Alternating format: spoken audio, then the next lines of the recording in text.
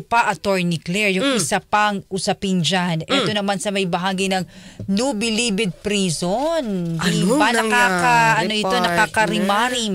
Dahil mismo, kinumpirma ni DOJ Secretary Crispin Boying Remulla na Mm. may natagpuan ngang pira-pira. So, pasintabi po sa mga kumakain na nabangkay sa septic tank ng New Bilibid Prison, Attorney Claire. Septic tank. Eh, di bumabara yun? Oo, at isa to sa mga nawawalang inmates sa New Bilibid Prison. Pero isang tao lang to. Okay? Pero Mhm. muntindo pa eh. Pakicheck nga ito. Okay. Mm-mm. Mm-mm. Well, anyway, eh, whatever. Aha. Ah, Di ko alam kung may pending case pa siya o convicted na siya. Oo. Ah, kung makikita siya sa septic, septic tank partner, Mhm. Gaano kalalim ang septic tank Yun. ng New Bilibid Prison Mhm. para hindi kayo bahain dyan. Nako po. Oo. Tapos, Tapos ngayon lang Nangangamoy ano, yun. Well, anyway, septic tank kasi. Pero, Oo. di ba, iba kasi yung amoy ng may namatay. Ay, naku, pansitabi Diba? sa mga kumakain. Gra, naku, attorney. Eh, daga nga Nak- lang na. yun, yun, nakaamoy ka nga lang nun. Ng di daga. Oo. Ma- ah- ahanapin mo talaga Bumabaliktad para... na yung sikmura What more? mo eh. Oo. Di ba? What more? Oo, oo, oo. Di ba? So, pira-pira. So, doon kaya lahat yung buo na, na, na tawag dyan, nabuo kaya nila yun? Di ba? Di ba?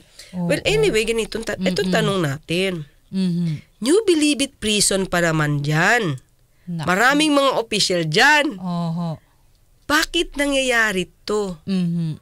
So, ang parang ako parang ang sarap tignan kung saan ba nakalagay yung septic Sep- tank. Aha. Yun muna yung gusto mong ano. O, eh, no? kasi kung ako ang halimbawa, ikaw mag-iimbestiga, mag-iimbestiga, Attorney Claire, ayan, oh. so alamin ko saan yung septic tank. Okay. Bakit mahalaga kung nasaan ang septic tank, Attorney Claire? Kasi kung alam ko kung ang lugar ng septic tank ay open partner. Mm. Siyempre open yan, hindi naman dyan naka, naka wala naman dyan ano, jail. May sabihin yung selda. Ah, okay. Diba? Ibig sabihin open siya, Mm-mm. everybody can see. Okay. Pero Diba? ito, kung halimbawa eh, walang masyadong nakapaligid, tama? Ay, mga police. Speaking of, ayan, attorney. Okay. So, ba- balikan natin. Bakit importante kung ang septic tank Ayan. ay mal- malayo doon sa mas, Oo. sa maraming mga ano ng mga mga preso no Yes. doon sa isang lugar ibig Ano, sabihin ako ganyan din tinanong sa akin dati Oo. si Rod eh. Kasi meron kami isa dito tungkol kay Secretary Remulla. Mm. Yung tungkol sa Pogo, Mm-mm. unang tinanong ko, kailan ba ito nag-leave? Mm. Sabi ni, ni, ni partner Rod, bakit kailangan malaman on leave? Mm-mm. Eh, para malaman ko kung nagkaroon ba ng surveillance, on leave ka. So, di ba, wala kang alam. Oo. Di ba? So, minsan kailangan yan, yung mga petty-petty. Akala mo Oo. petty, pero may kaugnayan. May kaugnayan. Parang, parang Okay. pelikula. Mm. Di ba? Septic tank, kung ito ay open, Mhm. okay, so nasa likod, open siya, wala siyang selda, Mm-mm. So anybody can see you. Kung true. bubuhatin mo yung tao. Correct. Okay, pangalawa, putol-putol, di ba? Mhm. Anong ginamit dito? Lagare? Mhm. I- itak? Mhm. Ang tawag dun? Bolo? Aha. Na matalim? Oo, para mapag ano. So, di ba? Septic tank, Mm-mm. pag malayo, gaano kalayo?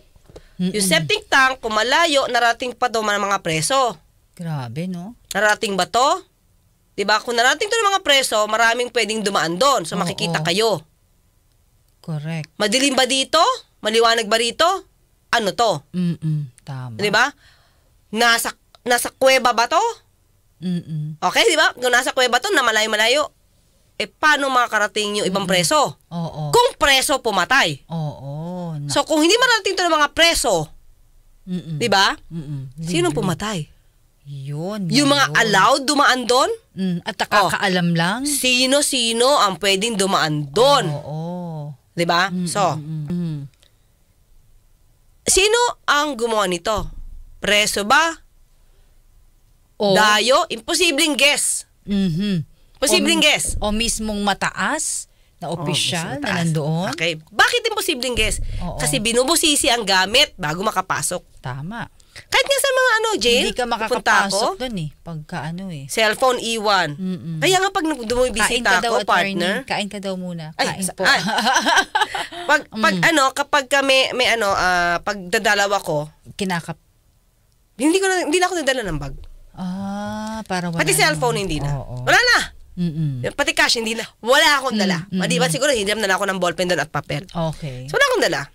So, definitely hindi guess. Mhm. Okay? Isa-isayin natin yan, ha? Okay. Kung preso, paano nagkaroon ng armas?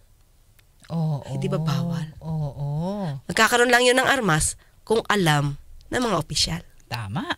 Di ba? Mhm. So, kung hindi preso at imposible, Sino? sino na lang natitirang pwedeng pagbintangan? Oo.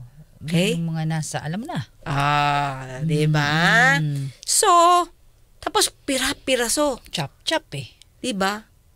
Bakit doon pa? Sana tinago nyo na. Bigay pa ng opinion eh. Na may sabihin, napaka-crazy na ipasok mo to sa septic tank kasi ma- mahuhulit mahuhuli to. Di naman to agad maaagnas eh. Oo. Ay pakitanong natin kay MJ. MJ, ano na ba to? Medyo ano, decomposing na ba to? Nung nakita? Sa report, Mm Kasi nakilala pa. So in other words, wala pa tong forensic partner. So Oo. medyo nakilala pa to. Mm-mm. Ha? Eh, Alamin nga natin kasi hindi ko alam yung stage niya, di ba? So, mga ilang buwan na to. Kasi sabi dito, o partner, o ito pa malaman natin. Oo.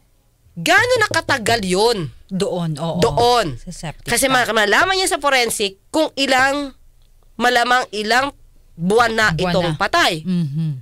Di ba? Mm-mm. So, ma-correlate ba natin to kay dating Bureau of Corrections, Bucor? Oo. Dati Bu- Bureau of Corrections, Bucor pa. Oo. Bucor Chief, Chief. Gerald Bantag. Oo. Kung matagal na siyang wala doon, Oo. ay, matagal na siyang hindi opisyal, O nangyari ba yon nang siya ay siya ang nandoon na makikita yun sa ano, partner, Oo. makikita yun sa age Mm-mm. nung pagpatay, kung ano ilang buwan, ilang ano na period na, ilang ta- ano, ano, ilang days. Mhm. pa- ah, ah, estimated days Mhm. or months, 'di ba? So, eh, it's unfair, no, for uh, Bucor Chief Gerald Bantag Mhm. na madawit yung pangalan niya dito. siya dito. Kung hindi pa natin nalalaman kung ilang ilang ano ng buwan, Oo. okay? Pero ang sabi ay magsusumite, magsusumite Attorney Claire ng komprehensibong ulat. Ito Mm. ngayon yung ating NBP uh, Director General Gregorio Katapang Jr. naman sa ah, insidente. tingnan natin Ah, kung wala daw details attorney kung di com ano na. Ayun, di dapat, 'di ba? Oo. Well, anyway, Mm, tingnan natin, na. 'di ba? Kasi sa forensic makikita 'yan. Mm, Importante yun sa investigation, attorney. Yes, of Claire. course. Oo, kasi malalaman natin sino ang may ano dito eh, may ah, command responsibility. Mm, Sino? Ito natin ito. Oo. Sino Mm-mm. ang opisyal Mhm. nung panahon na ito ay napatay? Yun.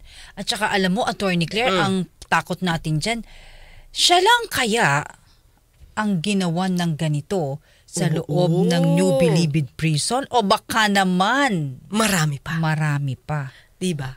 Baka hindi lang doon dinala. Oo. Pa- Paano kayo ito madidiscover, no? Pa- Paano kayo madidiscover kung saan-saan yan? Grabe, no, Di ba? Attorney, no? Hindi naman niya maamoy lang ng aso eh. And- matagal na eh. NBP, ano? Nako po. Pero parang pelikula, partner.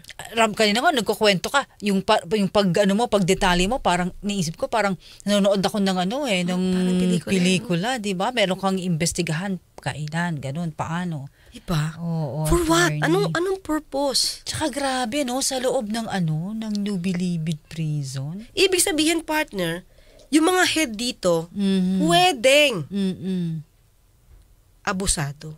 At pwede rin, Attorney Claire, na posibleng may mga ganito pang nangyari o noon. Di ba? Yes. Posible pa, baka may makita pa dyan. So, kailangan talaga ni Director General Gregorio Katapang Oo. na mas maging matapang sa pagsaliksik. Ganda na apelido niya, no? Oh, katapang. Katapang. O, dapat yung, ah, yung ilong niya Mm-mm. malakas, malakas umamoy. Nako. Diba? Ano, Mm, tingin ko daw. mak- maralaman naman niya kasi pagka nakipagkwentuhan siya doon sa mga tao sa loob. Bakit ba malalaman ang, mga bakit ba kwento ang doon. New Bilibid Prison, no? Ang daming mga hiwaga sa loob. Partner kasi tingin ko ito yung naram, Grabe. ito ito yung iba. Ito yung iba. Yung isa, yung iba power tripping, mm. iba talagang feeling Diyos, Mhm. 'di ba? Pag head ka na, Oo. daming ganyan eh. Feeling Diyos. 'Di ba? Kala mo walang Diyos, sila yung Diyos. Di umano, Attorney Claire, narinig ko rin sa isa nating kasama sa Ah. media eh. Pag may pumasyal daw sa loob dyan, eh, di ba? Yung binibigyan ng ano, ng karapatang may pumasyal na pamilya. Ah. Oo, pwede pa daw magpa-deliver ng pagkain eh. Pag grab mo, paano mo eh.